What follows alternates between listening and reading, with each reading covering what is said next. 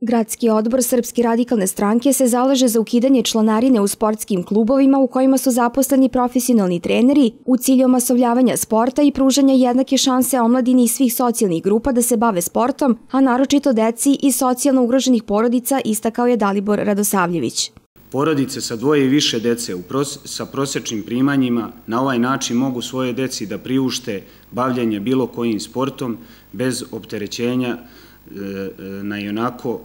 niski kućni budžet. Deca koja se već bave sportom i postižu rezultate, talentovana su, neće prestati da treniraju ako roditelji u nekom trenutku ne budu imali više sestava za plaćanje treninga, a samim tim bi deca bila angažovana sportskim aktivnostima,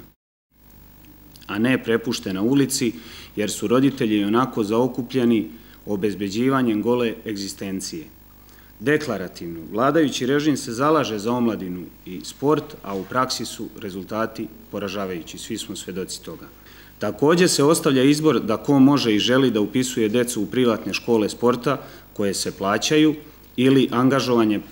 personalnog trenera ako smata da će rad biti kvalitetniji i da će to pružiti veće šanse njihove deci. Jedan od ciljeva je i popravljanje finansijskog statusa profesionalnih trenera i veća zastupljenost bivših vrhunskih sportista u radu Sportskog saveza u Zrenjaninu.